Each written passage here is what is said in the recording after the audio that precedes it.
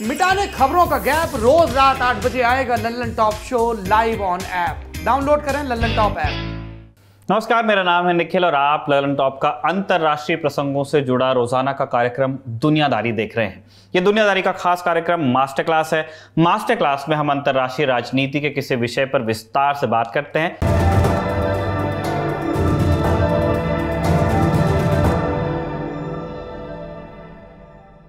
इस हफ़्ते हमारा विषय है पाकिस्तान में आर्मी चीफ का चुनाव। अंग्रेज़ी में कहें तो अपॉइंटमेंट या सिलेक्शन। दरअसल पाकिस्तान के आर्मी चीफ कमर जावेद बाजवा का दूसरा कार्यकाल नवंबर 2022 में पूरा होने वाला है। जनरल बाजवा ने साफ़ कर दिया है कि वो तीसरा कार्यकाल नहीं चाहते हैं। इस वजह से उनके सक्सेसर पर बहस शुरू हो गई है पाकिस्तान में। रिपोर्ट्स हैं कि सितंबर तक नए आर्मी चीफ के नाम की घोषणा हो जाएगी। आज हम बात आर्मी चीफ के दावेदारों, पाकिस्तान की राजनीति में सेना के दखल और सैन्य शासन के इतिहास जैसे मुद्दों पर करने वाले हैं बात। जानेंगे पाकिस्तान में सेना कितनी ताकतवर है, जितनी नज़र आती है उतनी या फिर और ज़्यादा। क्लास शुरू हो रही है और इस हफ़्ते हमारे मास्टर साहब हैं Sushant Singh. Sushant Singh centre for policy research में सीनियर फेलो हैं। वो येल यूनिवर्सिटी में लेक्चरर रहे हैं पढ़ाते रहते हैं।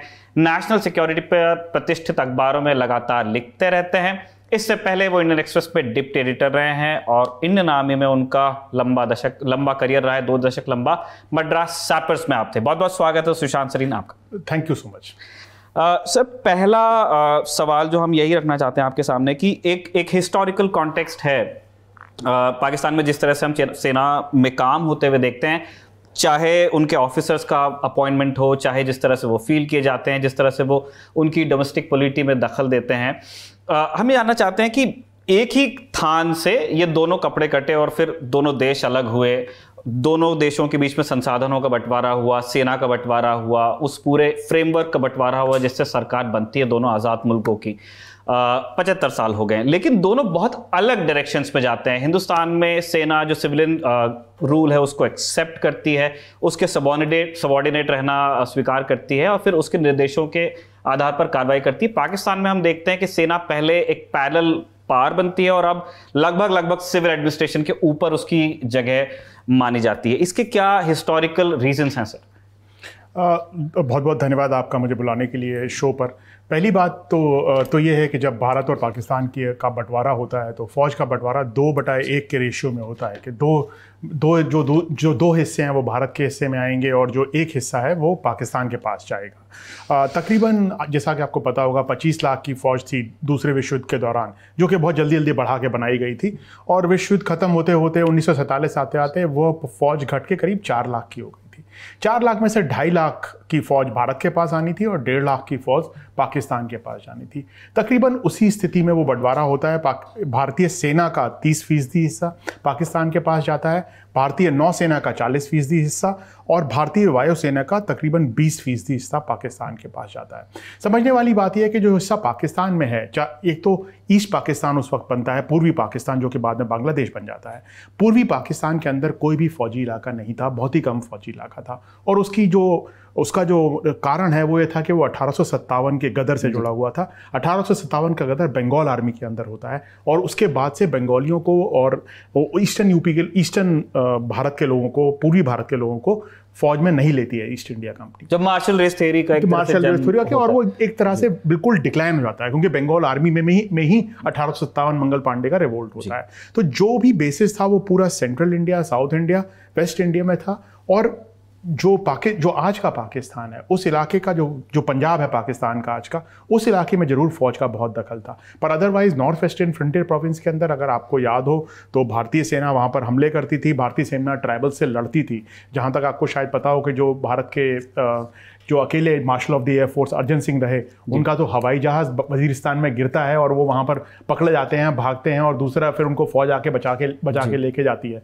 तो इस तरह से वहाँ पर उस तरह का फौज का डिप्लॉयमेंट था और समस्या ये थी कि वहाँ पर बहुत सारे बेसिस नहीं थे पाकि, पाकिस्तान का जो इलाका बना। सारे जो मिलिट्री के बड़े इलाके थे बड़े कंटोनमेंट्स थे वो सारे यहाँ पर थे।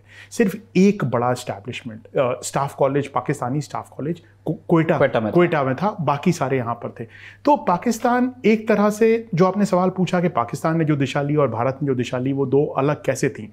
इस पर सबसे बेहतरीन किताब प्रोफेसर स्टीवन विल्किंसन की आर्मी एंड नेशन है जिसमें इसी सवाल का जवाब दिया गया है। स्टीवन मेरे दोस्त हैं और उनका आ, उनका ये कहना है उनका जो किताब में जो समझाना है वो ये है कि एक तरह से जो बैड इनहेरिटेंसेस थी पाकिस्तान की कि पाकिस्तान के पास आ, एक तिहाई फौज आती है तीस फ़ीसदी फौज आती है पर सिर्फ़ सत्रह फ़ीसदी रेवेन्यू उनके पास होता है। ना उनके पास इस्टेब्लिशमेंट में उस तरह की चीज़ें मिलती हैं तो जो ये बात जो पाकिस्तान की कंप्लेंट है कि उनको एक तरह की बैड इनहेरिटेंस मिलती है वो सच है।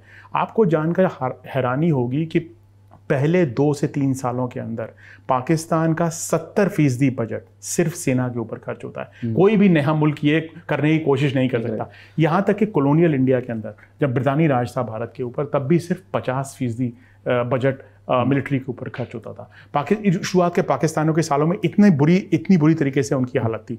दूसरी बात यह थी कि जो मुस्लिम लीग थी, वो पार्टी बहुत ही फ्यूडल और बहुत ही टॉप लेवल पार्टी थी।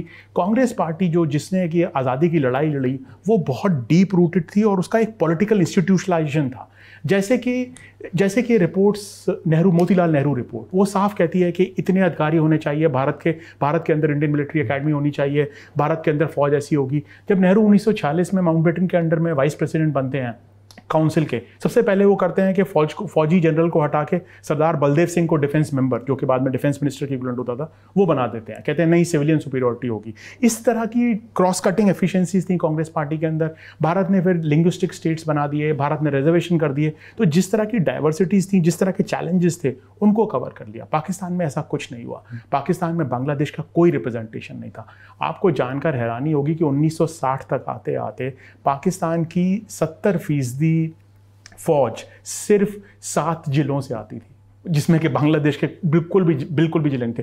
पूरी फौज तकरीबन पंजाब से और और N W N W F P से आती थी और उन्होंने इसको बदलने की कोई कोशिश नहीं की। लैंग्वेज के ऊपर जो बांग्लादेश में वो आपको पता, वो आपको पता ही है। तो इस तरह क्लीवेजेस को कवर नहीं किया। और उस तीसरी बात भारत ने शुरुआत के दशक में पहले दस एक पंद्रह सालों में कू प्रूफिंग मेजर्स लिए कि जिससे कि सेना कोई भी हम्म। ऐसी स्थिति ना कर सके जिससे कि कुछ गड़बड़ हो जैसे जैसे कि सेना को तीनों में बांटना पदों को तीनों करना करना तीन तीन अलग चीफ बनाना डिफेंस सेक्रेटरी को लाना अलग अलग रूल्स पोजिशन बनाना। और उन सब की उन सब की वजह से भारत और पाकिस्तान दो अलग दिशा में गए। पाकिस्तान में जिन्ना की मौत होती है लियाकत का मर्डर होता है और उसके बाद उन्नीस सौ इक्यावन से लेकर उन्नीस सौ अठावन तक उन्नीस से लेकर उन्नीस सौ अठावन तक सात प्रधानमंत्री पाकिस्तान देखता है उन पाँच सालों के अंदर आठ सरकारें देखता है। और वो बिल्कुल एक पीरियड है जिसमें कि पाकिस्तान में बहुत ज़्यादा टर्मोइल है और एक ही इंस्टीट्यूशन है जो कि चमकता है और दिखता है सबको कि कि ऐसा है। मैं आपको एक इस बारे में किस्सा बताना चाहता हूँ कि उन्नीस सौ तिरान उन्नीस सौ तिरानवे उन्नीस सौ तिरपन में पा, पा, पाकिस्तान में मार्शल लॉ लगती है लाहौर के अंदर क्योंकि वहाँ पर कुछ राइट्स होते हैं। तो तीन महीने के लिए सिर्फ़ मार्च से मई तिरपन तक लगती है। उस दौरान जब फौज मार्शल लॉ में लाहौर जाती है तो खास बात लोगों को क्या अच्छी लगती है कि वो सड़क साफ़ करा देती है। वो लोगों के वो लोगों वो लोगों को सड़क पे पेशाब नहीं करने देती है। वो लोगों को बिल्कुल सड़क साफ़ करा देती है और बिल्कुल इलाका एकदम चमक जाता है। तो लोग कहते हैं अगर फौज कंट्रोल में होगी तो कितना ज़बरदस्त चलाएगी देश को दुल कितना हम्म। अच्छा चलेगा देखिए इनके कंटोनमेंट अच्छे हैं। इन्होंने तीन महीने ये चलाया लाहौर लाहौर को चमका दिया। हमारे तो बिल्कुल राजनेता बिल्कुल ख़राब है। तो उस तरह की एक इमेज उस तरह की एक इंस्टीट्यूशलाइजेशन और वीक पॉलिटिक्स की वजह से पाकिस्तान ने जो जो रास्ता अख्तियार किया वो किया। हम ज़्यादा इफ्स एंड बट्स में नहीं जाना चाहते, लेकिन इस चीज़ को तो समझना ही चाहते हैं। जैसे जो दो बड़े इंसिडेंट्स आप बताते हैं कि जिन्ना की डेथ होती है और लियाकत अली का मर्डर होता है, और जिन्ना की जो पढ़ाई थी और जिन्ना की जो सेंसिबिलिटीज़ थी, उसकी, उनका खात्मा हो जाता है उस टाइम के साथ ही। और अगर अगर और मगर में जाएँ तो अगर जिन्ना रहते या जिन्ना जिस तरह का मुल्क इमेजिन कर रहे थे, जिस तरह का मोटो उन्होंने अपने देश की फौज के लिए रखा था, और उनके बाद में फौज जो रास्ता लेती है G H Q seven eight six अपना मतलब इस तरह के आंकड़े और इस तरह के सिंबल्स की चर्चा शुरू हो जाती है। इस इस चेंज के बारे में आप कुछ कहना चाहेंगे? हाँ ये बात आपकी सही है कि जिन्ना 14 जून 1948 को जिन्ना स्टाफ कॉलेज कोटा में जाते हैं और एक स्पीच देते हैं और उस स्पीच में वो साफ़ तौर पे कहते हैं कि आपको सिविलियंस के नीचे रहना होगा। ये सब क्लैरिटी होनी चाहिए कि हम सिविलियन डिसाइड करेंगे कि क्या होगा, आप लोग डिसाइड नहीं करेंगे। बट जैसा कि 10 साल के अंदर ही होता है, उन्नीस सौ अट्ठावन तक आते आते फ़ौज वहाँ पर रूल करने लगती है। ये बात सही है कि पाकिस्तान में जीएचक्यू बनते ही, क्योंकि पाकिस्तान मुसलमान भा, भारतीय मुसलमानों के लिए एक देश बना था। भारत के जो उस वक्त के भारत के जो मुसलमान थे उनके लिए बना था। वो सात सौ छियासी का नंबर लगा देते हैं और उनका जो मोटो है वो भी दो तलवार और उस तरह से बिल्कुल एक एक एक ग्रीन कलर से एक हरे हरे रंग का उनका लोगो वगैरह लोगो वगैरह बनता है। अगर आप उस तरफ़ देखें तो भारत का लाल रंग का और तलवारों वाला लोगो है जिसका कि कोई रिलीजियस कॉनोटेशन कोई भी आ, कोई भी कोई भी धार्मिक कॉनोटेशन नहीं है। ये आपने एक इंटरेस्टिंग फैक्ट उठाया कि जो पाकिस्तान का मोटो था जो जिन्ना ने उस वक्त दिया आर्मी को वो था यूनिटी फेथ डिसिप्लिन मतलब इतिहाद यकीन और तंजीम। जब जब जनरल जियाउल हक बनते हैं उन्नीस सौ उन्नीस में आर्मी चीफ और जब वो सरकार पर कब्जा कर लेते हैं उन्नीस सौ सतहत्तर में भुट्टो को हटाकर और उन्नीस में भुट्टो को लटका देते हैं। तो वो इसका ऑर्डर और इसका मीनिंग बिल्कुल बदल देते हैं। यहाँ पर फेथ का मतलब यकीन से, यहाँ पर जिन्ना का मतलब था कि आप मतलब आपका फेथ तो मोर लाइक ए डिटर्मिनेशन कि आप क्या करना चाहते हैं। जिन जियाउल हक इसको बदल के फेथ को पहले ले आते हैं। फेथ यूनिटी डिसिप्लिन कर देते हैं। वो उसको ईमान, तकवा और और जिहाद जिहाद सप्तलित कर देते हैं जिसका मतलब है फेथ ओबीडियंसी और पेटी रिलीजन के लिए and struggle in the path of the Allah और in path of Islam so clearly वो एक पूरा जो जो मीनिंग जिन्ना दे रहे थे उससे वो बिल्कुल ही डिफरेंट मीनिंग एक बिल्कुल डिफरेंट कॉनोटेशन कॉनोटेशन हो जाता है. पर मैं एक बात यहाँ पर यह भी कहना चाहता हूँ कि जो जिन्ना की uh, जो पाकिस्तान बनाते वक्त जो जो आइडियाज़ थे वो बहुत ही अमॉर्फस थे वो वेल डिफाइंड नहीं है. उनकी स्पीचेस हर तरह की बातें करती हैं और हर तरह की बातें नहीं करती हैं। बट ये बात सही है कि मदूदी मौलाना मदूदी जिन्होंने पाकिस्तान का विरोध किया पाकिस्तान बनते वक्त ज़िया के आते आते उनके जो विचार थे वो पूरी तरह से पाकिस्तानी फ़ौज पर और पाकिस्तानी समाज पर हावी हो गए थे। एक चीज़ और हम जानना चाहते हैं और हमारे व्यूअर्स भी कि अभी पाकिस्तान में ये है कि प्राइम मिनिस्टर शरीफ एक आर्मी चीफ अपॉइंट करना चाह रहे हैं। लेकिन जब हम पाकिस्तान की हिस्ट्री देखते हैं और इसके अंदर मिर्ज़ा से शुरू करके और उसमें आप एक लंबी लिस्ट है मुशर्रफ तक कि जब जब जब जब पॉलिटिशियंस ने किसी को अपॉइंट करने की कोशिश की है या जिस उम्मीद के साथ में अपॉइंट किया है, उसका ठीक उल्टा हो जाता है। और एक ऐसा, सुनकर ऐसा लगता है कि पॉलिटिशियंस सीख नहीं रहे हैं, उनके जो प्रेडिसेसर्स हुए हैं, उनकी गलतियों से। क्या ये लेजी एनालिसिस है या फिर वाकई पाकिस्तान में इसी तरह से काम हो रहा है? दोनों ही बातें सच हैं। तैतीस साल, पचहत्तर में से तैतीस साल तो फ़ौज डायरेक्टली कब्ज़े में रही है, चाहे वो अयूब हों, चाहे वो ज़िया हों याया हों या मुशर्रफ हों। पर समझने वाली बात यह है कि ये जो इंडिविजुअल्स हैं, ये एक इंस्टीट्यूशन को रिप्रेजेंट करते हैं और वो जो इंस्टीट्यूशन है, उसका एक सोचने का तरीका है, उसका एक वैल्यू सिस्टम है और उसका एक कल्चर है। जब वो कोई लड़का अठारह सत्रह अठारह साल की उम्र में अफसर बनता है और तीस पैंतीस साल नौकरी करके जब वो ऊपर पहुँचता है तो वो एक इंस्टीट्यूशनल कंसेंसस को रिफ्लेक्ट करता है अपने आप को सिर्फ़ इंडिविजुअल को रिफ्लेक्ट नहीं करता है जब कयानी साहब बात जनरल कयानी बात करते हैं या जनरल जिया बात करते थे तो वो अपने core commanders at least core commanders जो उनके नौ या दस कोर कमांडर हैं उनके व्यूज़ को रिफ्लेक्ट करते थे अगर मैं आपको इसका क्लोजेस्ट पैरल बताऊँ तो शायद चीन की कम्युनिस्ट पार्टी का पॉलिट पॉलिट ब्यूरो जिसमें हम्म। कि हमको लगता है कि शी जिनपिंग डिक्टेटर है? नहीं. शी जिनपिंग एक ब्रॉड कंसेंसस को रिफ्लेक्ट करते हैं, उसको आगे लेके जाते हैं. तो ऐसा हुआ है, नवाज़ शरीफ ने पाँच सेनाध्यक्ष बनाए हैं पाकिस्तान के अंदर. और कम से कम दो तीन ने उनको धोखा दिया, सरकार गिरवाई, मुशर्रफ ने तो उनको हटा ही दिया, जेल में डाल दिया वगैरह. हमेशा ये हुआ, उनको लगा कि मुशर्रफ मुशर्रफ मुहाजिर हैं, हिंदुस्तान से आए हैं, इनका बहुत वीक कॉन्स्टिट्युएंसी है जूनियर हैं, कुछ नहीं कर पाएँगे. पर ऐसा नहीं है। मुशर्रफ जिस चीज़ को रिफ्लेक्ट कर रहे हैं वो पाकिस्तान आर्मी को एक इंस्टीट्यूशन को रिफ्लेक्ट कर रहे हैं। उसमें इंडिविजुअल का रोल है पर वो बहुत लिमिटेड है। सेम जिया के साथ हुआ। सेम हमने देखा कि जैसे जो करंट बाजवा बाजवा साहब हैं जब इनको बनाया गया सबसे नीचे के नंबर सा, सातवें नंबर या छठे नंबर पर थे। पर इनको बनाया गया सोचा गया ये ये इतने प्रोमिनेंट नहीं है। पर देखिए किस तरह से इन्होंने इमरान को बनवाया फिर इमरान को हटवाया किस तरह से इन्होंने राजनीति में किया। तो मुझे लगता है कि rather than focusing on individuals के इंडिविजुअल्स पर फोकस करने की बजाय अगर हम इसको इस तरह से समझें कि ये एक इंस्टीट्यूशनल हम्म। व्यू है और एक इंस्टीट्यूशनल का बिलीफ है कि हम ना कि सिर्फ़ फ़िज़िकल फ्रंटियर्स ऑफ़ पाकिस्तान को डिफेंड कर रहे हैं हम्म। बल्कि पाकिस्तान के आइडियोलॉजिकल फ्रंटियर्स को डिफेंड कर रहे हैं तो, तो समझने वाली बात यह कि 1960 के दशक में अयूब के जाने के बाद जब याया रूल करते हैं तो शायद आपको पता होगा कि एक मेजर जनरल शेर अली खान पटौदी थे जो कि उनके इन्फॉर्मेशन एंड ब्रॉडकास्टिंग मिनिस्टर बन हैं और मैं शेर अली खान पटौदी का नाम इसलिए ले रहा हूँ क्योंकि वो जो पटौदी सीनियर मतलब मंसूर अली खान पटौदी के पिता उनके छोटे भाई थे। वो पाकिस्तान जाते हैं। और वो as information and broadcasting minister एक नोट बनाते हैं याहिया के लिए कि फ़ौज को क्या, किस तरह से सोचना चाहिए। और वो नोट साफ़ तौर पे कहता है कि हमको डायरेक्टली इन्वॉल्व नहीं होना चाहिए, हमारी एक बहुत स्टैंडिंग है, हमारी एक बहुत इमेज है, हमको उस स्टैंडिंग को यूज़ करना चाहिए, पर हमको कंट्रोल करना चाहिए पॉलिटिक्स को। तो जो अब हो रहा है पिछले दो तीन चीफ्स के अंडर से, चाहे वो बाजवा साहब हों, चाहे वो राहिल शरीफ हों, या चाहे वो उससे पहले कयानी हों, वो ये है कि वो पावर को पूरी तरह से खुद कंट्रोल नहीं करते। हैं बट इंस्टीट्यूशनल पूरी तरह से मैनिपुलेट करता है एक तरह से कठपुतलियों की तरह चेस हम्म। के गेम की तरह खेल के उन चीज़ों को चलाता है। रिमोट कंट्रोल जी। रिमोट कंट्रोल जिसके हाथ में है वो ज़्यादा पावर सर आपने एक बहुत अच्छे से एक कॉन्टेक्स्ट दिया है उस सवाल को उसके जवाब को कि पाकिस्तान की फौज राजनीति में इतनी दिलचस्पी क्यों लेती है? क्योंकि उनको ऐसा लग रहा है कि वो वो गार्डियन है उस आइडियोलॉजिकल गार्डियनशिप है उनके दिमाग में। पॉल साइंस की भाषा में कहें तो एक प्रेटोरियनिज्म का एक एक कॉन्सेप्ट है जिसमें सेना ये इमेजिन करती है कि देश के लिए जो बेहतर है वो उसी का करना ठीक रहेगा। अगर वो चीज़ें करें तो बेहतर होगा।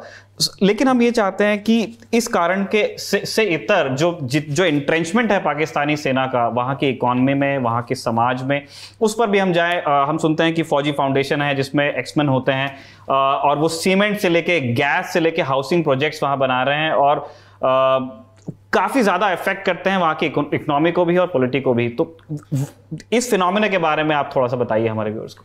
तो जैसा कि आपने कहा, बहुत सारे मुल्कों के अंदर फ़ौज होती है। पाकिस्तान ऐसा मुल्क है जहाँ पर फ़ौज के पास एक मुल्क है।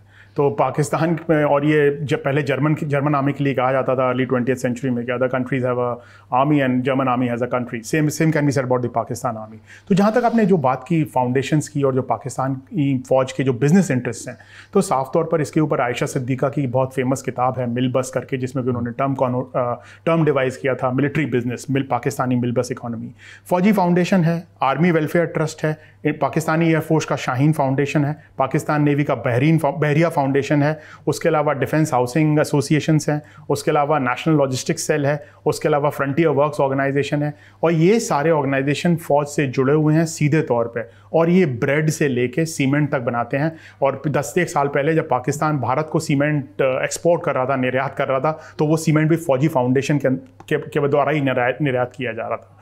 अगर आपको जान के हैरानी होगी कि फ़ौज वहाँ पर मैरिज हाउस तक चलाती है जो कि लोगों को देती है।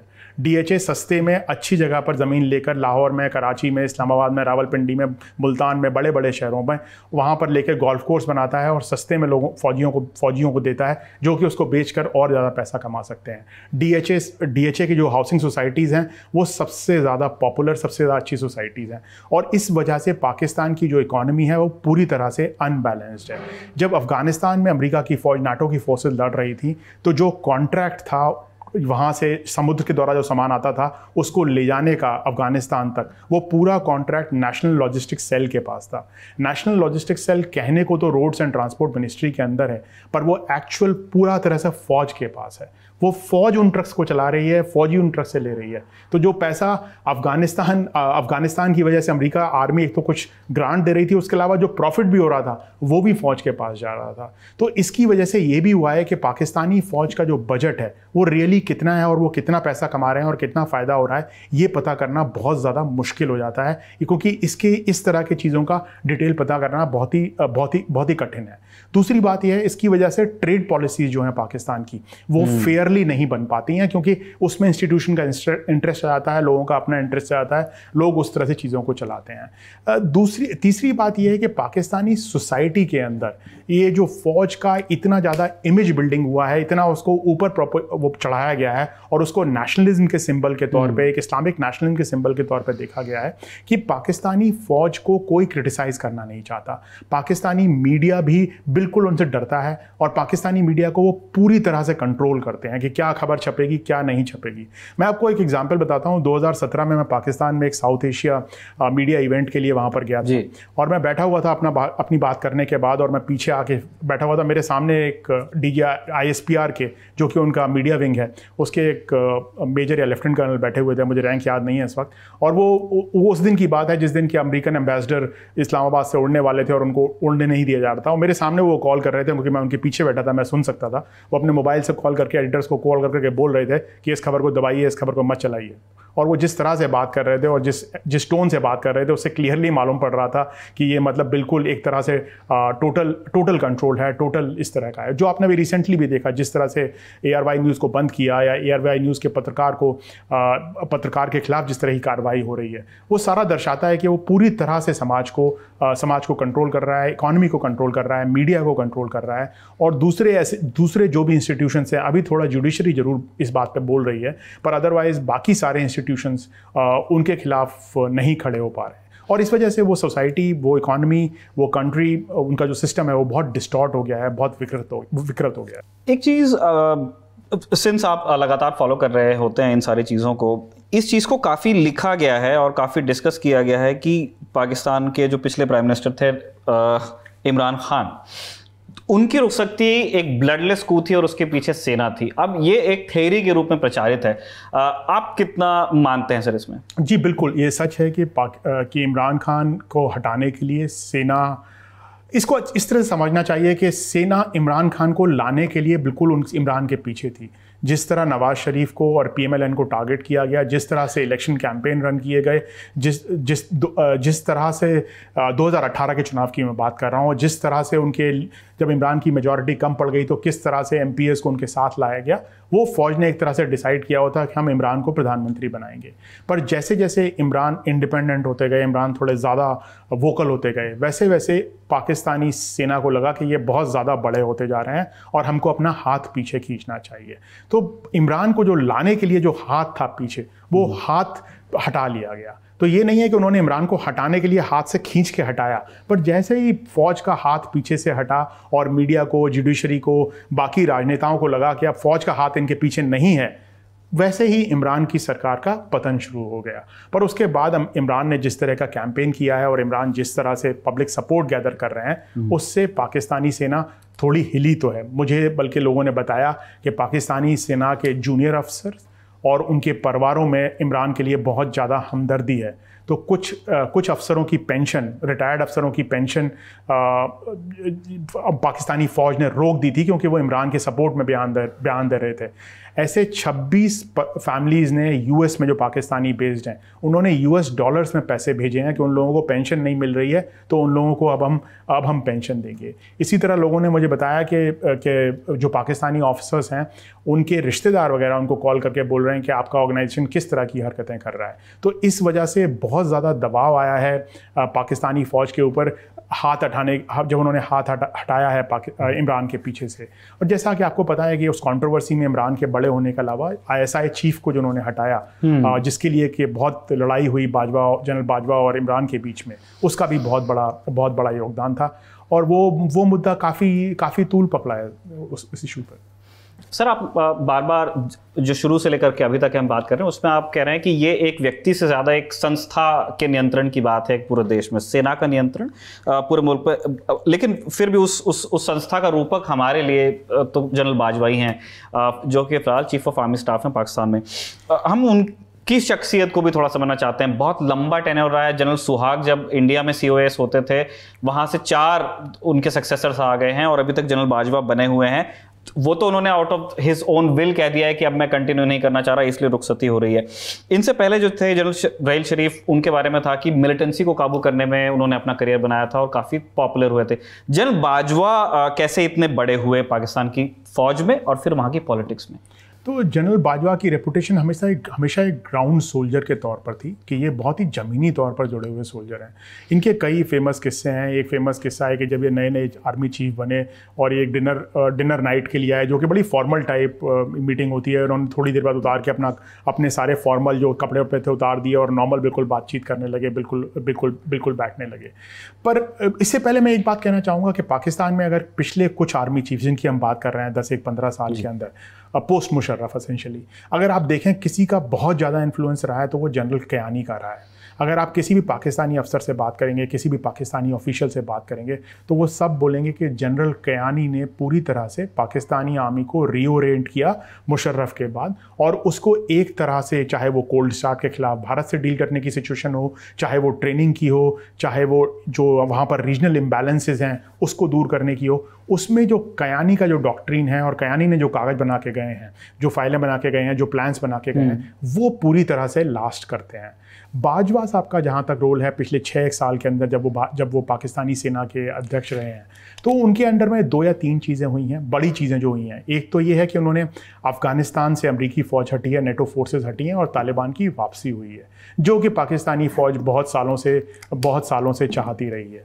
पर उसी दौरान भारत ने 2019 में बालाकोट पर एयर स्ट्राइक की और उसके बाद लगा के टेंशन बढ़ जाएँगे, पर वो टेंशन एक तरह से रिजॉल्व हो गए। 2021 में इसी तरह से लाइन ऑफ़ कंट्रोल पे सीज़ फायर दोबारा रीइंस्टेट हो गया। तो बाजवा साहब एक तरह से तो जनरल बाजवा साहब भारत के लिए फ्रेंडली रहे हैं भारत के साथ उनका उन्होंने कई अप्रोच की हैं भारत की तरफ़ बात करने की और बैक चैनल टॉक्स वगैरह भी उनकी वजह उनकी उनकी वजह से हुई हैं। पर पाकिस्तान की इकॉनमी के लिए उनका रोल अच्छा नहीं रहा है। पाकिस्तान की जिस जबकि बाजवा साहब ने कई बार कहा जब मैं भी पाकिस्तान गया था तो डी जी ने सारे साउथ एशिया के जर्नलिस्ट को ब्रीफ किया और कहा कि हम जियो पॉलिटिक्स की जगह जियो इकनॉमिक्स करना चाहते हैं हम्म। और हम जियो इकनॉमिक का सेंटर बनना चाहते हैं। पर ऐसा नहीं लगता लगता कि ऐसा कुछ भी हुआ है। और अब तो फिर से स्वास्थ्य के अंदर मिलिटेंसी बढ़ रही है टेररिज्म बढ़ रहा है वजीरिस्तान से भी इस तरह की खबरें आ रही हैं। तो मुझे लगता है कि इंटरनल सिक्योरिटी के तौर पे और इकोनॉमी के तौर पर उनका रोल बहुत ज़्यादा अच्छा नहीं रहा है, पर शायद उन्होंने फॉरेन पॉलिसी में जो वो करना चाहते थे, वो वो कर पाए हैं। पर सबसे बड़ी बात जो मैं बोलूँगा कि उन्होंने एक तरह से आर्मी का रोल पॉलिटिक्स के अंदर, जिस तरह से उन्होंने इमरान, नवाज़, शहबाज और मीडिया के ऊपर कंट्रोल में बहुत ज़्यादा डीपली एंट्रेंच कर दिया है, जो कि किसी भी प्रोफेशनल आर्मी के लिए एक अच्छी चीज़ नहीं है। और ख़ासतौर पर जैसे जैसे पाकिस्तान की इकॉनमी और कमज़ोर होती जाएगी, पाकिस्तानी आर्मी के लिए समस्या और ज़्यादा बढ़ती जाएगी। क्या नेशनल सिक्योरिटी पॉलिसी जो आर्टिकुलेट की है पाकिस्तान ने, उसमें आप जनरल बाजवा का रोल देखते हैं? मुझे नहीं लगता कि जनरल बाजवा ने उसको कोई इंटेलेक्चुअल इनपुट दिया है। जनरल बाजवा को कभी भी इंटेलेक्चुअल जनरल के तौर पर नहीं देखा गया है। एक एक बड़ी थ्योरी पिछले कुछ सालों से पाकिस्तान में चल रही है कि हम जियो की वजह से मारे गए हैं क्योंकि हम सेंटर ऑफ़ जियो थे।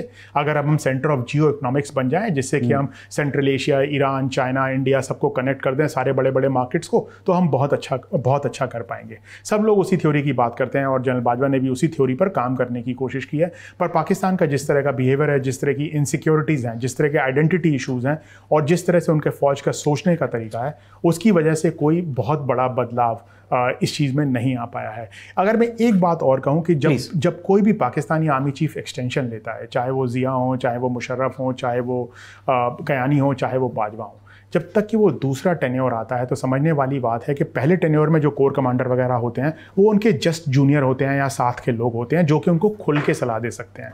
जब तक छः साल होते हैं जब जो लोग अब कोर कमांडर हैं वो कर्नल रहे होंगे या ब्रिगेडियर रहे होंगे जूनियर तीन चार कोर्स बाद के हैं। तीन चार भी नहीं बल्कि दस कोर्स बाद के लोग हम्म। होंगे। वो इतने जूनियर होंगे जिया के वक्त में तो ये हुआ कि जो लोग जिया के कैडेट थे वो कोर कमांडर बन गए तेरह साल के अंदर।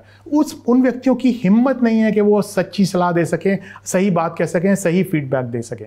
इस तरह की समस्या हमेशा एक्सटेंशन के बाद सारे आर्मी चीफ के, सारे आर्मी चीफ्स ने पाकिस्तान के अंदर देखी है कि उनको ऑनेस्ट फीडबैक रियल फीडबैक नहीं मिलती है, क्योंकि बहुत ज़्यादा जूनियर जूनियर लोग तब तक तब तक फ़ौज में आ चुके होते हैं।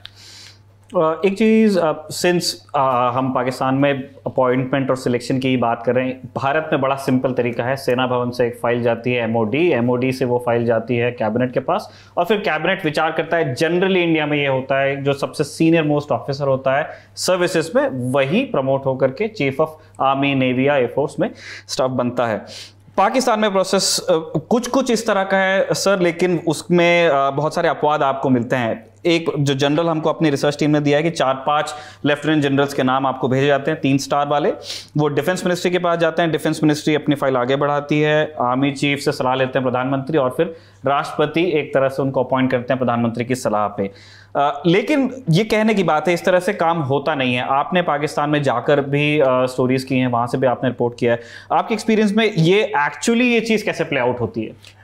एक्चुअली पाकिस्तानी प्राइम मिनिस्टर पूरी तरह से डिसाइड करते हैं कि अगला आर्मी चीफ कौन होगा। और ये जैसा कि आपने खुद देखा इसकी वजह से बहुत प्रॉब्लम्स हुई हैं कि कई बार जैसा सबसे फ़ेमस किसका, इसका किस्सा है भुट्टो मतलब जुल्फ़िकार अली भुट्टो। 1976 में ज़ियाउल हक को बनाते हैं क्योंकि वो नंबर सात पर हैं हम्म। क्योंकि वो बहुत ही टिमिड हैं वो बहुत इंप्रेसिव नहीं हैं वो एक ऐसी कास्ट कम्युनिटी से आते हैं आरायन कम्युनिटी से जिनका कि पंजाबी राजपूत से या बाकियों से नहीं होगा। बहुत ही not he is not from very rich family और वो उनको लगता है वो बहुत ही ऑब्सिक्यूस टाइप पर्सन थे ज़ियाउल हक। तो उनको लगा कि ये तो कुछ नहीं कर पाएँगे ये हमारे हमेशा कब्जे में रहेंगे। वो सातवें नंबर पर थे पर उनको बनाया और उन्होंने तीन साल के अंदर ही चार साल के अंदर ही भुट्टो को लटका दिया फांसी पर। तो वो पाकिस्तान के अंदर हमेशा इस तरह से हुआ है कि प्राइम मिनिस्टर डिसाइड करते हैं, पर प्राइम मिनिस्टर जो डिसीज़न जिस तरह से सोच के लेते हैं, वो नहीं होता है। ये आपकी बात सही है कि फ़ाइल आती है पाकिस्तान में डिफेंस मिनिस्ट्री के पास। डिफेंस मिनिस्ट्री के पास तीन या चार या पाँच नाम होते हैं, वो फ़ाइल प्रधानमंत्री के ऑफ़िस में आती है। प्रधानमंत्री उसके बाद डिसाइड करते हैं। और जैसा कि हर जगह होता है कि आउट गोइंग आर्मी चीफ जो कि भारत के अंदर भी होता है इनफॉर्मली बात, करते बा, बात करते हैं और बोलते हैं कि मुझे लगता है कि ये सही है या या ये सही नहीं है या वो सही नहीं है। पर ख़ास तौर पे जो पिछले कई पाकिस्तानी आर्मी चीफ्स के सिलेक्शन में जो हुआ है उसके बाद पाकिस्तान के राजनेताओं को ये समझ में आ गया है कि इससे फ़र्क नहीं पड़ता कि हम एक्स को बनाएँगे कि वाई को बनाएँगे कि जेड को बनाएँगे अनलेस कि कोई बहुत ही ऑबनॉक्शस नहीं हो बहुत ही प्रोमिनेंट चीज़ ना हो। तो इसलिए अब जैसा कि इस बार भी लग रहा है जो खबरें आ रही हैं पाकिस्तानी मीडिया में डॉन वगैरह में कि शहबाज शरीफ शायद जो उनको लगेगा कि सबसे सिंपल और first without any problem problem है उसको वो शायद वो शायद बना देंगे और जो आर्मी कॉन्स्टिट्यूशनल व्यू होगा जो उनको आउट गोइंग चीफ बना बताएँगे उसी तरह से उसको वो बनाएँगे rather than picking and choosing कि मैं इसको बना दूँ इसकी कास्ट ये है और ये इसका है तो ये इस तरह से बिहेव करेगा उस तरह का शायद अब फैसला नहीं होगा वहाँ पर। क्या ऐसा नहीं हो रहा है कि वहाँ पे इस तरह की चीज़ें सुनने को मिली थी कि जिस तरह इमरान खान ने हाथ जलाए हैं जीएचक्यू से डील करते हुए अब ये चीज़ पूरी तरह दे दी गई है प्राइम मिनिस्टर शरीफ को। उनकी पार्टी भी बहुत ज़्यादा इसमें पढ़ना नहीं चाहती है कि ये अगर इस तरफ़ उस तरफ़ जिस भी करबट ये उठ बैठ जाए इसका बुरा नतीजा हमें ना भुगतना पड़े। तो क्या वो अकेले पड़ गए हैं इस डिसीज़न मेकिंग प्रोसेस में? बिल्कुल या फिर उनके कुछ वेल विशर्स अभी भी हैं? शहबाज शरीफ इनफैक्ट पीपीपी ने जो उनकी अलायंस पार्टनर है जिस जो कि भुट्टो की पार्टी है जिसमें कि बिलावल भुट्टो विदेश मंत्री हैं सरकार में उन्होंने साफ़ तौर पे कहा है कि वो इस इस कंसल्टेशन में पढ़ना नहीं चाहते हैं और ये प्रधानमंत्री का निर्णय है वो और as prime minister Shehbaz Sharif इस निर्णय को निर्णय को लें। समझने वाली बात यह है कि शहबाज शरीफ का कभी भी पाकिस्तानी आर्मी से खराब रिश्ता नहीं रहा है हम्म। जो कि नवाज़ का रहा है। नवाज़ शरीफ का हमेशा मानना रहा है कि पाकिस्तानी आर्मी ने उनको मिसट्रीट किया है उनको ठीक से ट्रीट नहीं किया है। तो शहबाज शरीफ मुझे जो आप जैसा कह रहे हैं बिल्कुल क्लियर है कि वो एक शायद उनको इंडिविजुअली और अपने जो क्लोज एडवाइज़र्स हैं, उनके साथ डिसीज़न लेना पड़ेगा। बट वो बिल्कुल सेफ़ डिसीज़न होगा और वो इस तरह का डिसीज़न ना हो, नहीं होगा जिससे कोई भी फेदर्स रफल हों, कोई भी भावनाएँ आहत हों। वो मतलब जो होगा, वो बिल्कुल सिंपल और बिल्कुल क्लियर होगा। ये इस तरह इस तरह की जो लग रहा है कि संभावना इस तरह, इस तरफ़ ही दिख रही है। अच्छा आप बता रहे थे कि शरीफ जूनियर के संबंध खराब नहीं रहे तो वो बड़े भाई वाला बैड ब्लड इधर क्यों नहीं कम्युनिकेट हुआ? पहली चीज़ हम ये जानना चाहते हैं। और दूसरा पंजाब पाकिस्तान की फ़ौज के बारे में ये भी कहा जाता है कि पाकिस्तान की नहीं, पंजाब की फ़ौज है।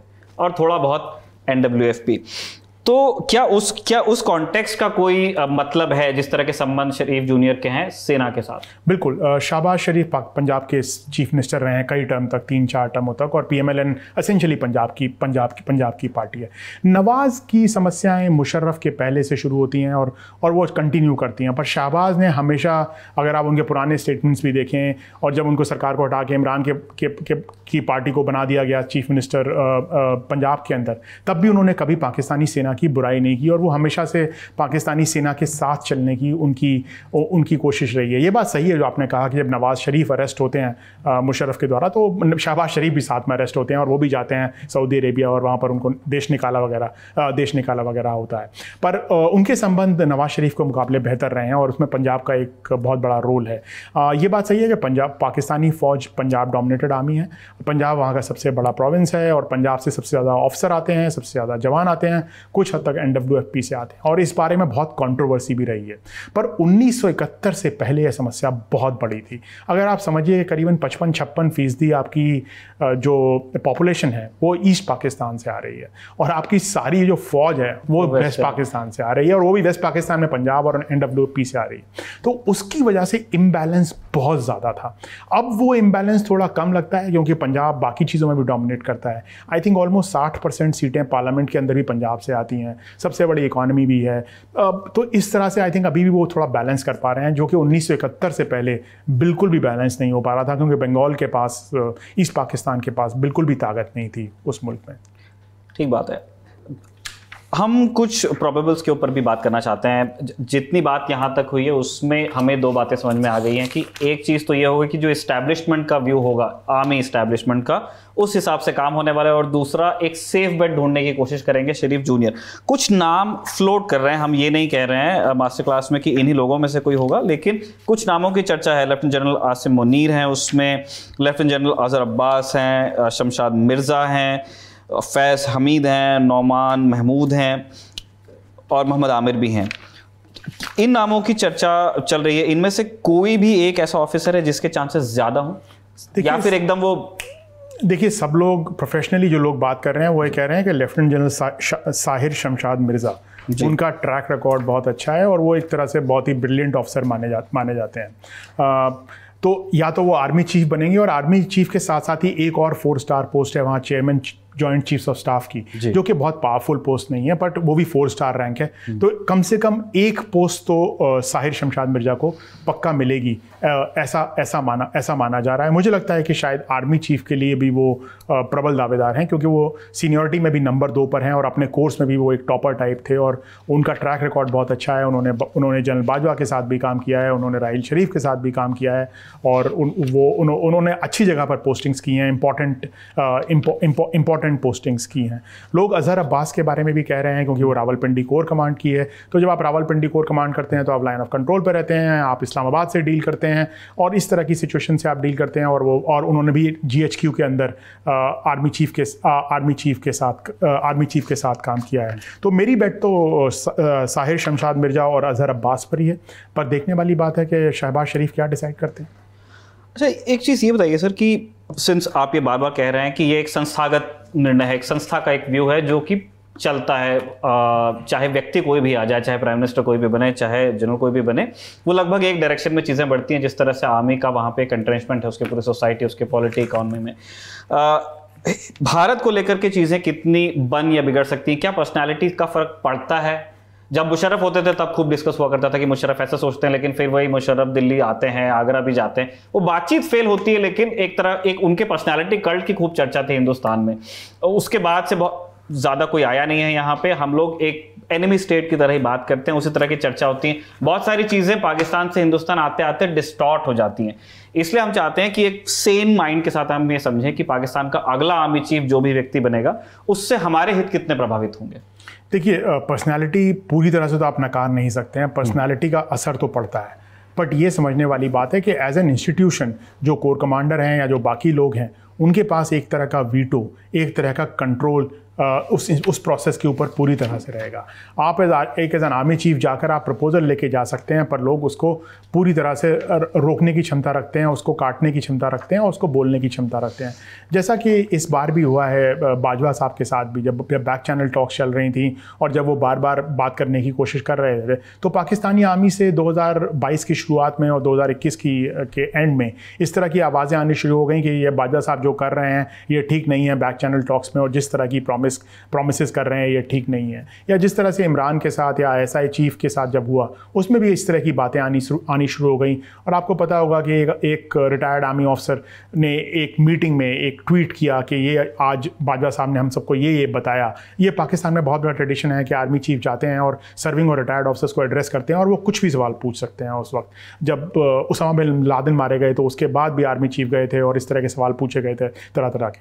जब उस जब उस जब उस रिटायर्ड ऑफिसर ने वो ट्वीट किया, एक दो दिन बाद उसको उठा लिया गया और उसको और उसको, और उसका उसका आता पता तक नहीं है कि वो कहाँ वो कहाँ पर है। तो इस तरह की इस तरह की चीज़ें पाकिस्तान के अंदर हमेशा होती हैं, पर यह बात है कि पाकिस्तान के अंदर आर्मी चीफ की पर्सनैलिटी का असर भारत के ऊपर ज़रूर पड़ेगा, बट इंस्टीट्यूशनल जो जो बड़ी थिंकिंग है और जो वीटो पावर है इंस्टीट्यूशन के पास, वो बिल्कुल असर असर दिखाएगी। मतलब मैं ये नहीं कहना चाहता कि आर्मी चीफ की कोई वैल्यू नहीं है। आर्मी चीफ की वैल्यू है, बट इंस्टीट्यूशन के पास एक तरह की वीटो पावर एक तरह का कंट्रोल है कि वो बोलेगा कि नहीं, ये आप जो कह रहे हैं ये ठीक नहीं है, ये इतना ज़्यादा जाने की ज़रूरत नहीं है, थोड़ा कम कर लीजिए या इस तरह से, इस तरह से, इस तरह से कर लीजिए। अच्छा एक और सवाल हमको पूछना है, फिर उसके बाद हम पाकिस्तान में आपके अनुभवों पर जाएँगे।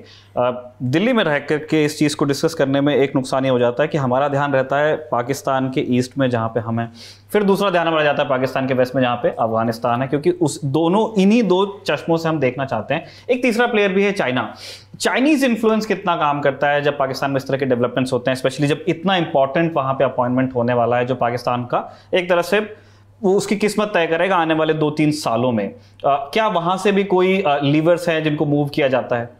नहीं पाकिस्तान आर्मी चीफ के सिलेक्शन में तो कोई इस तरह का रोल प्ले नहीं करता है कि सॉरी चाइना पाकिस्तान के आर्मी चीफ के सिलेक्शन में इस तरह का कोई रोल नहीं प्ले करता है कि वो कहे कि फ़लाँ को बनाइए या फ़लाँ को हम्म। फ़लाँ को मत बनाइए। चीन के लिए पाकिस्तान में सिर्फ़ बहुत ज़्यादा पाकिस्तानी आर्मी के अंदर बहुत ज़्यादा वेलकमिंग एटीट्यूड है ख़ासतौर पर इसलिए कि अमरीका से उनके संबंध बिल्कुल कट चुके हैं। अमरीका से कोई सामान नहीं आ रहा है। जो उनका जो उनका मेन लड़ाकू हवाई जहाज़ है जो उनकी पनडुब्बियाँ हैं जो उनका मेन बैटल टैंक टैंक है वो सब चीन से आ रहे हैं और चीन के साथ उनके संबंध बहुत बहुत ज़्यादा बढ़ रहे हैं। ये देखिए समझने वाली बात यह है कि पाकिस्तान जब उन्नीस सौ सैंतालीस में आज़ाद होता है तो पाकिस्तानी फ़ौज ब्रिटेन फ़ौज की तरह भारतीय फ़ौज की तरह थी। उन्नीस सौ चौवन में वो सीटो सेंटो का हिस्सा बनते हैं और अमरीकन अलायंस के अंदर आते हैं। उसके बाद जो पाकिस्तानी फ़ौज डेवलप होती है वो अमरीकन पैटर्न पर डेवलप होती है। तो जो आप पाकिस्तान में इनिशिएटिव देखते हैं कि जो बहुत ज़्यादा इनिशिएटिव है जो कि हमारे यहाँ शायद थोड़ा कम है हमारे यहाँ सेफ़ खेलने की आदत है फ़ौज के अंदर भी आराम से काम करने की आदत है पाकिस्तान में इनिशिएटिव लेने की आदत है। तो वो इनिशिएटिव जूनियर रैंक पे तो बहुत ज़बरदस्त रहता है छोटे लेवल पे कंपनी के लेवल पे बटालियन के लेवल पे। पर वो जब मुशर्रफ के लेवल पे जाकर जब वो कारगिल हो जाता है तो वो बहुत गलत पड़ जाता है उस हम्म। तरह का इनिशिएटिव और वो एक अमरीकी प्रभाव था बहुत ज़्यादा एग्रेसिव बहुत ज़्यादा बोल्ड बोल्ड वगैरह रहने का। वो अमरीकी प्रभाव धीरे धीरे कम हुआ है और अब चीन का प्रभाव इन पर इन पर बढ़ने लगा है पिछले दस एक सालों में। लोग कोर्सेज के लिए जा रहे हैं लोग ट्रेनिंग के लिए जा रहे हैं इक्विपमेंट आ रहा है रेगुलर मीटिंग्स हो रही हैं। उसका पाकिस्तानी आर्मी पे क्या असर पड़ेगा और पाकिस्तानी आर्मी उस तरह उस पर किस तरह से डेवलप करेगी इसका अभी अंदा, अंदाज़ा लगाना बड़ा मुश बड़ा मुश्किल है क्योंकि वो विजिबल नहीं है जब आप पाकिस्तानी आर्मी ऑफिसर से मिलते हैं या ट्रैवल करते हैं तो वो वो दिखता नहीं है कि भाई कि ये पाकिस्तानी आर्मी के ऊपर इस इस चीज़ का क्या असर पड़ रहा है चीन की सबसे बड़ी प्रायोरिटी सी है सी पैक जो कि आपको पता है गिलगिट बाल्टिस्तान पी के होते हुए थ्रू बलूचिस्तान के होते हुए नीचे जा रहा है और चीन चाहता है कि पाकिस्तानी मिलिट्री उसको सपोर्ट करे और उस तरह से और उस पर उसको पूरी तरह से काम करे।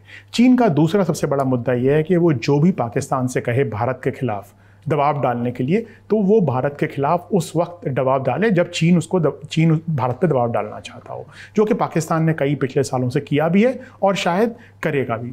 समझने वाली बात यह है कि अब पाकिस्तान और चीन क्या दो फ्रंट हैं या पाकिस्तान चीन का एक सबसेट है भारत के लिए? भारत पाकिस्तान को किस तरह से देखे? भारत पाकिस्तान को एक इंडिविजुअल स्टेट की तरह देखे एक इंडिविजुअल थ्रेट की तरह देखे या भारत पाकिस्तान को चीन के एक सबसेट की तरह देखे? कहे कि भाई चीन समस्या है उसके कई सबसेट हैं उसका एक सबसेट ये भी है। जैसे एक सबसेट हमारे लिए लद्दाख है एक सबसेट अरुणाचल है एक सबसेट पाकिस्तान भी है या एक सबसेट श्रीलंका भी है एक सबसेट नेपाल भी है। वो बड़ी बड़ा चैलेंज है।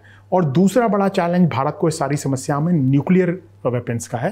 आ, पाकिस्तान के पास 160 165 न्यूक्लियर हथियार हैं और जैसे जैसे भारत और पाकिस्तान का गैप बढ़ता जाएगा वैसे वैसे कन्वेंशनल मिलिट्री पावर में वैसे वैसे पाकिस्तानी फ़ौज न्यूक्लियर वेपन्स की तरफ़ और जाने लगेगी। और जैसा कि एशली टेलिस के लेटेस्ट जो बड़ा पेपर आया है उनका उसमें दिखा उन्होंने बताया है कि चीन न्यूक्लियर वेपन्स में भी अमरीका से अब कम्पीट कर रहा है न्यूक्लियर वेपन्स को बढ़ा रहा है।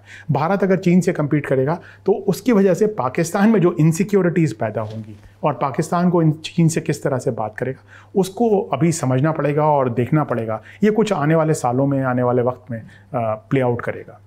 हाँ मतलब इसमें एक चीज़ मुझे बड़ी दिलचस्प लगी जो हमारे लिए मतलब काफ़ी नई थी कि एक फ़िलोसॉफिकल चेंज आप कह रहे हैं कि पाकिस्तान आर्मी के सोचने के तरीके में बदलाव आ रहा है, वो जिस तरह से चीज़ें, वो जिस तरह से खुद को कैरी करते हैं, जिस तरह से वो चीज़ें बनाते, बिगाड़ते हैं। आपका पाकिस्तान आना जाना होता रहा इससे पहले रिपोर्टिंग के सिलसिले में। हम जानना चाहते हैं कि आपका कोई, आपका अनुभव वहाँ पे कैसा रहा फौजियों से मिलने का? नहीं मेरा अनुभव पाकिस्तान के अंदर बहुत अच्छा रहा। एक सतही मैं मैंने इसके अलावा यूएन में भी नौकरी की जहाँ पर पाकिस्तानी सैनिक हमारे साथ थे पाकिस्तानी अफसर हमारे साथ थे। मैं मिलिट्री ऑब्जर्वर था कोट दीवार में आइवरी कोस्ट में। तो मैं पाकिस्तान को पहले भी पाकिस्तानी लोगों से मिल चुका हूँ। और जब मैंने ट्रैवल किया तो पाकिस्तानी सेना के साथ पाकिस्तान के अंदर मिलना बहुत अच्छा था। और सतही तौर पर वो बिल्कुल सेम लगते हैं जैसे हम लगते हैं। सिमिलर टाइप की फ़ौज है सिमिलर यूनिफॉर्म है। एक फ़ौज का एक पर्टिकुलर कल्चर होता है। वो इस तरह से बिल्कुल पर एक तरह से बिल्कुल सिमिलर है। पर जब मैं नॉर्थ वजीरिस्तान जब हमको लेके गए साउथ एशिया के हम कई सारे सारे जर्नलिस्ट थे और जब नेपाल से भूटान से बाकी जगह से बांग्लादेश से हर जगह से। जब हमको वो लेके गए नॉर्थ वजीरिस्तान में मीरान शाह में जहाँ पर उन्होंने टीटीपी को हराया था तो मुझे ये देख कर ये रियलाइज़ हुआ कि उनकी जो जिस तरह से उन्होंने मिलिटेंसी को हराया वहाँ पर जिस तरह से फाइटर फाइटर जेट से लेके पूरे गाँवों को उड़ा दिया तो मुझे वो वियतनाम वॉर की एक अमेरिकन सेइंग है कि we have to destroy the village to save it तो मुझे वो देख के बिल्कुल मुझे पहला थॉट मुझे यही आया हेलीकॉप्टर से उतरने के बाद कि ये तो साहब इन्होंने सब ध्वस्त कर दिया सब तोड़ दिया। कहने के लिए कि हम इसको बचा रहे हैं। बचाई क्या है? जब आपने सब कुछ यहाँ पर यहाँ पर उड़ा दिया। दूसरी चीज़ जो मुझे बड़ी तरफ़ तौर पर स्ट्राइक की कि पाकिस्तान में आर्मी का आर्मी की स्टैंडिंग वीज़ा वी इंडिया मतलब भारत के मुकाबले बहुत ज़्यादा हाई है। जब D G I S P R journalist से मिलने के लिए होटल में आते हैं तो होटल का पूरा फ्लोर बंद हो जाता है। मतलब मतलब उस तरह का, उस तरह का दबदबा, उस तरह का, उस तरह का जलवा। और जिस तरह से वो सिविलियन ऑफिसर्स से या सिविलियन ऑफिशियल से बात करते हैं ट्रीट करते हैं सीनियर सीनियर लेवल्स पे, वो क्लियरली दिखाता है कि वो उनको पता है कि पावर सेंटर कहाँ पर है और पावर किसके पावर किसके पास है। ये क्लियरली दो दो तीन दो तीन चीज़ें मुझे लगता है कि कि पा, कि, पा, कि पाकिस्तान में जान, जा, जाने के बाद दिखी। पर तीसरी चीज़ जो मुझे जो मैंने जब यूएन में भी नौकरी की या बाकी बाकी जगह भी जब पाकिस्तानी सैन्य अफसरों से बात की है तो ये बात सच है कि वो एक प्रोफेशनल फोर्स है। भले ही वो एक weak economy divided society you know very fragile polity में ऑपरेट करते हैं बट उनके प्रोफेशनलिज्म को कम आंकने की ज़रूरत नहीं है, क्योंकि ये सारी समस्याएँ वहाँ पर हैं। फॉर वॉट एवर रीज़न मतलब पर वो हम्म। उन्होंने अपने प्रोफेशनलिज्म को बचा के रखने की और अच्छी तरह से आगे ले जाने की कोशिश पूरे तौर पे की है। और इतने फॉर्मल और इतने जलवे वाले सेटअप में फ़ोन बज गया था एक बार आपका? हाँ नो मैन मैं साहब बिरान शाह में हम डिबेट क्वार्टर्स के अंदर थे और वहाँ ब्रीफिंग होने वाली थी क्योंकि एक, एक, एक छोटा सा इंटरप्शन बहुत सारे व्यूअर्स हमारे समझते नहीं कि डिवीज़न कितनी बड़ी फॉर्मेशन है जिसके हेडक्वार्टर में इनका बजा हुआ है। तो नहीं मैं तो मैं इनको ये इंटरव्यू शुरू होने से पहले बता रहा था कि मैं मीरान शाह में था वहाँ पर अफगान अफ़गानिस्तान बॉर्डर पे, नॉर्थ वजीरिस्तान में, जहाँ पर कि टीटीपी को हराया तो पाकिस्तानी फ़ौज ने, और वो हमको वहाँ लेके गए थे, साउथ साउथ एशिया के जर्नलिस्ट को, और जब हम विज़िट कर रहे थे तो ऑपरेशन रूम में ब्रीफिंग के लिए लेके गए, और मैं ऑपरेशन रूम में था, मेरा मेरा मोबाइल फ़ोन, जो कि हिंदुस्तान का ही एक सर्विस प्रोवाइडर, एयरटेल का नंबर था, और पाकिस्तान में भारतीय फ़ोन नहीं चलते हैं, नहीं बजते हैं। फ़ोन मेरी पॉकेट में था, मैंने सोचा तो नहीं बजेगा ये, पर जैसे ही मैं ऑप्स रूम में पहुँचा, मेरा फ़ोन सडनली बजने लग गया, एसएमएस पे एसएमएस मेरे पास आने लग गए कि मेरी कार यहाँ जा रही है, वो कार में जीपीएस होता है कि यहाँ जा रही है वहाँ जा रही है। वो सारे मैसेज मेरे पास आने लग गए और रिंग होने लग गया फ़ोन मेरा। आ, तो मुझे तब रियलाइज़ हुआ क्योंकि ये अफ़गानिस्तान बॉर्डर से सिर्फ़ तेरह चौदह पंद्रह किलोमीटर दूर है। अफ़गानिस्तान के अंदर जो जो नेटवर्क है वो एयरटेल नेटवर्क को के साथ उसका उसका सिंक है। उस टाइम पर अफ़गानिस्तान में तालिबान नहीं था ये कोई पाँच साल पुरानी बात है।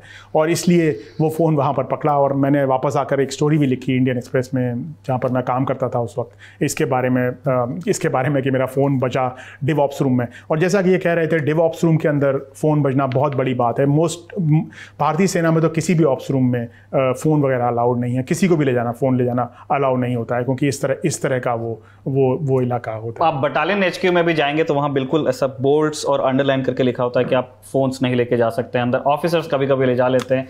डिवीज़न बहुत बड़ी फॉर्मेशन होती है upwards of five thousand man बहुत बहुत शुक्रिया सर हमें इतने तफसील से समझाने के लिए। हम ये समझ रहे हैं कि हमारी समझ अभी तय बन रही है। हमने अपनी रिसर्च यहाँ पे की है। आपसे सवाल पूछे हैं क्या कोई ऐसी चीज़ें हैं जो हम मिस आउट कर गए और दर्शकों को उन्हें भी समझना चाहिए, उनके बारे में भी जानना चाहिए? कुछ आप ऐड करना चाहते हैं अपनी ओर से? देखिए नहीं आपने ज़्यादातर मुद्दों को अच्छी तरह से कवर कर लिया और जो हम पॉइंट बताना चाहते थे कि भाई क्या इंस्टीट्यूशनल मैकेनिज्म है और क्या किस तरह से वहाँ की पॉलिटी ऑपरेट कर रही है आ, वो आ, वो वो सारे मुद्दे शायद मुझे लगता है कि आ, कि ठीक तरह ठीक तरह से कवर हो गए हैं। ऐसा कोई कोई बड़ा मुद्दा बड़ा बड़ा पॉइंट नहीं है। बड़ा पॉइंट नहीं है सबसे बड़ा मुद्दा जो मैं कहना चाहता हूँ कि वो एक प्रोफेशनल फोर्स है और हमको उनको उस तरह की इज़्ज़त देनी चाहिए और उस तरह से अपनी प्लानिंग के साथ ट्रीट करना चाहिए। सर आखिरी जो सेगमेंट होता है हमारा मास्टर क्लास में वो रिकमेंडेशन का होता है जो हमारे दर्शक इंटरेस्ट लेते हैं पाकिस्तान फ़ौज में और जिस तरह पाकिस्तान की फ़ौज उस पूरे देश को प्रभावित करती है। अगर इस विषय में लोग समझना चाहते हैं तो कुछ आप रिकमेंड कर सकते हैं। वो बुक्स हो सकती हैं मूवीज़ हो सकती हैं आर्टिकल्स हो सकते हैं। बुक्स में मैं बोलूँगा कि पाकिस्तान आर्मी के ऊपर जो सबसे पावरफुल बुक है वो शुजा नवाज़ की किताब है पाकिस्तानी आर्मी की हिस्ट्री के ऊपर। शुजा शुजा नवाज़ के भाई आसिफ नवाज़ पाकिस्तानी आर्मी चीफ हुआ करते थे। शुजा नवाज़ एक अमेरिका में रहते हैं अमेरिकन पाकिस्तानी हैं जर्नलिस्ट हैं जर्नलिस्ट हैं थिंकर हैं राइटर हैं थिंक टैंकर हैं।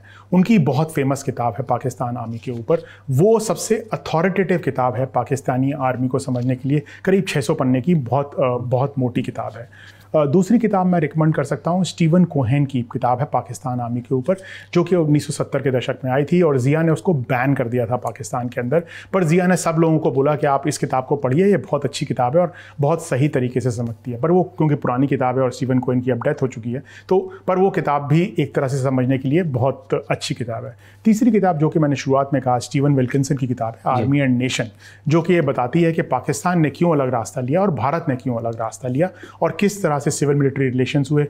ये ये तीन किताबें मैं इस वक्त सोच सकता हूँ कि कि रिकमेंड की जा सकती हैं।